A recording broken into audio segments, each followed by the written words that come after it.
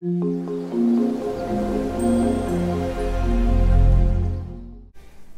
च्यानलमा दिइएका गवाही परमेश्वरको महिमाको निम्ति र साँचो परमेश्वर खोज्नेहरूको लागि हो। सत्य जहिले पनि तितो हुन्छ तसर्थ तितो र खस्रो कुरा मन नपराउनेहरूले हाम्रो च्यानल नहेर्नुहोला। लाइफ न्युज च्यानलमा गवाईद्वारा सुसमाचार तथा क्रिस्टियानिटी सम्बन्धी कुनै पनि विषय जस्ताको तस्तै सम्प्रेषण भइरहेको यहाँहरूलाई थाहै छ। अझ प्रभावकारी रूपमा अघि बढ्नलाई तपाईँको प्रार्थनाको साथै आर्थिक सहयोगको पनि हामीलाई खाँचो पर्छ। मात्रै महिनाको एक सय रुपियाँ तपाईँले हाम्रो च्यानललाई डोनेट गरेर तपाईँ पनि सुसमाचारको काममा सहभागी हुन सक्नुहुन्छ। तसर्थ डिस्क्रिप्सनमा दिइएको एकाउन्ट नम्बर वा ई सेवा वा क्युआर कोडलाई पनि तपाईँले प्रयोग गर्न सक्नुहुन्छ। दाइ जयमसी जय मसी यहाँलाई स्वागत छ लाइफ न्युज च्यानलमा। धन्यवाद। हजुरको नाम बताइदिनुहोस् न। कृष्ण बहादुर विश्वकर्मा। ए घर कहाँ नि हजुरको? छिन्डाडा चौध। पोखराको छिन्डाँडा चौध। पुरानै घर यही हो? बस्ने घर यही हो। परिवारमा को को हुनुहुन्छ? अहिले छोरा बुहारी अनि म मात्रै हो। पहिले श्रीमती तिन छोरी एक छोरो थिए। सबको विवाह भयो। अनि अहिले छोरा बुहारी म मात्रै छु श्रीमती? हजुर श्रीमती. श्रीमती बित्नुभयो यो सत्तरी सालमा ए हो? सत्तरीमा अहिले हजुरको चर्चको नाम के हो? मेरो चर्चको नाम यो बप बप्तिस्ट चर्च. कहाँको? भेडी फारम. भेडी फारम ब्याप्टिस्ट चर्च होइन? हजुर। अनि प्रभुलाई विश्वास गर्नुभएको कति वर्ष जति भयो? प्रभुलाई विश्वास गरेको त्यही त्रिसठी चौसठीमा हो। मेरो गुरु उहाँ रत्नज्यू हुनुहुन्छ। पास्टर रत्न हजुर। खास कारण के थियो विश्वास गर्ने? हजुर। प्रभुलाई विश्वास गर्ने कारण चाहिँ के थियो? कारण धेरै छ। मलाई अहिले क्रिस्चियन भन्नमा मेरो छाती यत्रो ठुलो हुन्छ। तर हिन्दू भन्नमा मलाई एकदम नफरत आउँछ। किन हिन्दू भनेर अरूको कुरो म जान्दैन? मेरै घरको आमा बाउ भएपछि म त आमा बाउलाई मान्ने हो। मास्टरले जे सिकाउँछ त्यही सिक्ने हो। आमा बाउले जे सिकाउँछ त्यही सिक्ने हो। र तिनीहरूले नराम्रो त सिकाउँदैन राम्रै सिकाउँछ। सिकाउन त राम्रो सिकाउँछ व्यवहार खराब गर्छ। यो हिन्दू भनेपछि मलाई एकदम नफरत छ। अझसम्म पनि। म बुढो भइसकेँ अहिले पनि म मर्नको लागि डराउँदैन। हिन्दू सैदान हो भनेर भन्न म डराउँदैन। खास किन? कारण के होला? कारण मेरो घरमा धेरै अत्याचार भयो। के के भयो? धेरै दुर्घटना भयो। मेरो छोरी मेरो छोरीको माया मलाई लाग्छ नि। मेरो छोरी म त्यतिखेर जागिर गर्दै म भारतमा आसाममा। आसाममा जागिर गर्दाखेरि म छुट्टीमा आएँ। मेरो कान्छी छोरी पार्वतीको बहिनी उहाँ आज टिकट काटे बिहान आज दुई तिन बजे जाने हो त्यतिखेर झाडा पखाला लायो।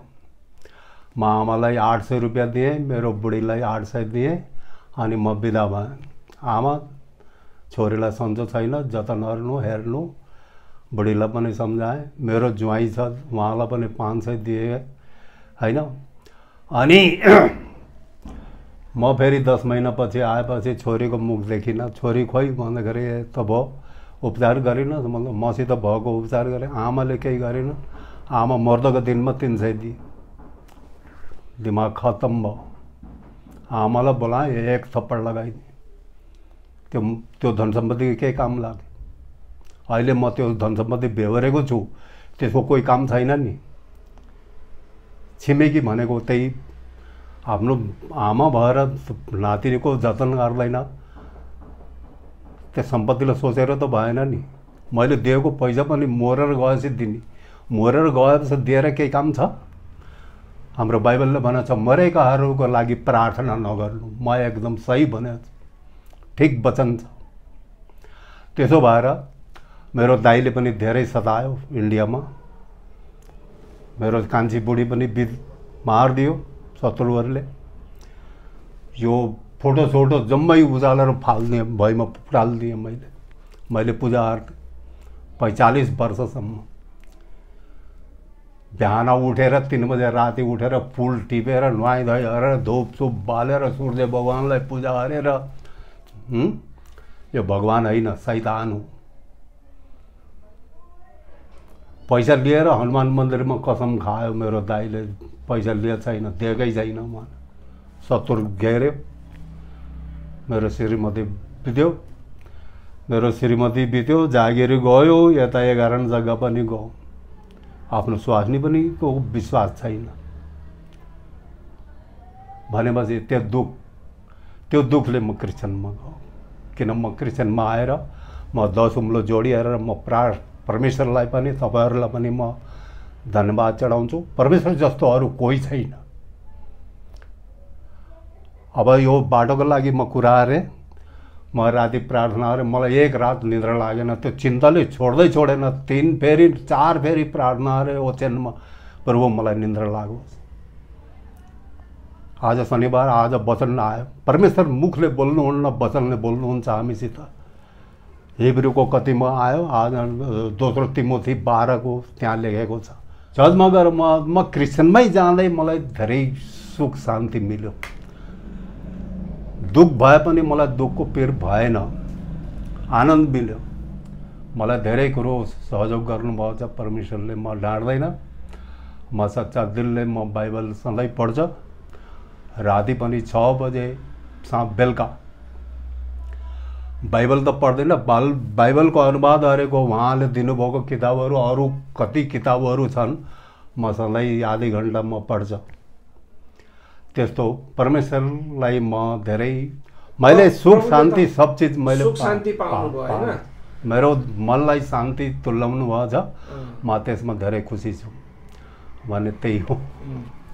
अनि तपाईँको आफन्तहरू को को छन् विश्वासी मेरो अब घरमा कोही पनि विश्वासी छैन त्यो. पार्वती छोरीलाई सन्चो नहुँदा विश्वासमा गएँ आमा छोरी त्यहाँबाट म धेरै खुसी भएर म आफ्नो मनले म पहिले पनि भनेको त्यो सन्तोषको आमालाई गएर भन् म क्रिस्चियनमा जाने हो। त्यसको क्रिस्चियनमा जाँदाखेरि एक महिना पनि बितेन मैले बत्तिसमा लिएँ। मलाई छटपट्टि लगाइहाल्यो बत्तिसमा लिनलाई. त्यसो भएर म क्रिस्चियनमा गएको ग- गएको छु र म धेरै खुसी म पनि छु। अहिले कोही सङ्कट छैन सङ्कट भए पनि थाहा हुँदैन। मलाई परमेश्वरले धेरै आनन्द दिनुभएको छ सुख शान्ति सब चिज दिनुभएको छ। तपाईँको आफन्तहरूले तपाईँ क्रिस्चियन भएपछि हेला गर्छन् कि ठिकै छ भन्छन् कि के भन्छन्? अब हेला त अब तिनीहरूले हेला गरे पनि म त कनेक्सन राखेकै छैन। बरु म मेरो छोरालाई त्यहाँ नजानु त्यहाँ टेक्दै नटेक्नु त्यहाँ खाँदै नखानु तेरो घरमा जे छ त्यही खानु। अति भर्खरको कुरो उहाँलाई मैले भने मेरो नाति एक वर्षको पनि भएको छैन पिट भइहाल्यो। शनिबारको दिन म चर्च जान लागेको। तरो बा तरो समातेको थिएँ। मेरो छोरो बाउ छोरो खेलिरहेको बाउ केही गर्दै थियो। ऊ पछाडि टो खेल्दै थियो बाउलाई। अनि लडिहाल्यो अनि करायो। म के भयो भने हेरेँ अनि आएँ। मेरो नातिलाई त्यस्तो ऊ हारिदियो हारिदिए तिनीहरूले यता जान पऱ्यो मलाई हडबडी भयो के भयो आँखासँग बन्द हात यस्तो मुठी परेको निलो पर्न लाग्यो। मैले प्रार्थना गरेँ म छटपट्टि लायो चर्च जानको लागि।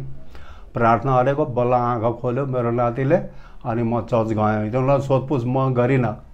चर्चमा गएर चर्चबाट आएपछि म सोधेँ अब त्यहाँ जग्गा मेरो आमाको जग्गा छ के?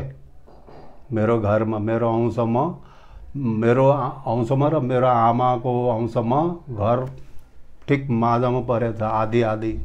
र आमा भन्नाले दुईवटा आमा छ। र मेरो भाइहरू सैतान छन्। आफूले बोलेको मुखले बोलेको काम पक्का गर्दैन र मेरो भ घर भत्काउँछ मैले त्यो घर मैले ज बाउ आमाको सम्पत्तिले बनाएको होइन मेरो पसिनाले बनाएको मैले झुट बोलेको छैन। अलिकति उनीहरूको पनि आमाको जान पनि सक्छ। तर मेरो मेहनतले मैले बनाएको परमेश्वरको सामुन्ने म बोल्दैछु। र त्यो घर भत्के पनि मलाई कोही अफसोस छैन। मलाई उनी साथ जग्गा मलाई काफी छ। मेरो एउटा छोरो छ काफी छ। मेरो घरको मूल्य दिनु पऱ्यो मलाई घर बनाउने खर्च दिनु पऱ्यो म छोडिदिन्छु। भन्दाखेरि मान्दैन। दुइटा आमालाई भनेको दुइटा एउटा आमालाई दे। त्यो तपाईँको पारिवारिक कुरा भयो होइन। तपाईँले सुसमाचार कतिको सुनाउनुहुन्छ? मैले? अब सुसमाचार त अब मेरो साथीभाइ काममा मिल्यो भने त भन्छु। तर सुनाएर त हिँडेको छैन किन झुट बोल्ने मैले होइन। किन? बाइबलले त सुसमाचार सुनाओ भन्छ।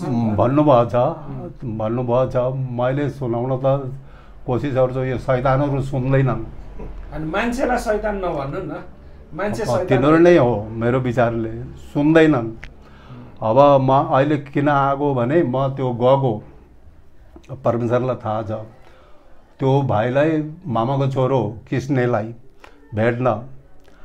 भेट्न म प्रत्येक शनिबार त्यहाँ जान्छु के टाइम पास गर्न अनि यही कुरो हर्नलाई उहाँले दिनुभएको हाम्रो इतिहास त्यो किताब ल्याएको आज चार पाँच महिना भयो। अनि कहीँचोटि मैले सोधेँ भनेको सिद्धिए पढेर सिद्धिए छैन चार पाँच महिना लाग्दैन नि मन त्यहाँ जान पर्यो मन त्यहाँ गएन भने त त्यो किताबको कामै छैन अब बाइबल भनेर त भएन। मन त्यहाँ जान पर्यो नि। आत्मिक भोजन भोक लाग्न पर्यो अहिले तपाईँले काम के गर्नुहुन्छ? अहिले म काम भरेको छैन म सन्च पनि छैन काम पनि दिँदैन बुढो भयो। अनि घर कसरी चल्छ त तपाईँको? घर? मलाई परमेश्वरले दिनुभएको छ धेरै होइन यति छ। ब्याङ्कमा। अब भत्ता आठ हजार मिल्छ। त्यसैले गुजारा चल्छ छोराले पालिन्छ। हिजो पन्ध्र सय दियो दबाईको लागि। अझै पनि त्यो पन्ध्र सय लिन मलाई अलिकति छोरो हो मैले हुर्काएको हो। मैले पाल्नु। मण्डलीमा तपाईँको केही जिम्मेवारी छ? मण्डलीमा मेरो केही जिम्मेवारी त केही छैन जिम्मेवारी साधारण सदस्य। हजुर। साधारण सदस्य हुनुहुन्छ। त्यसै जाने आउने अनि अनि त्यस्तै अब आपद विपदमा सहयोग गर्छन् मण्डलले। त्यही। परमेश्वर तपाईँसँग वचनद्वारा बोल्नुहुन्छ भन्नुहुन्छ होइन? हजुर।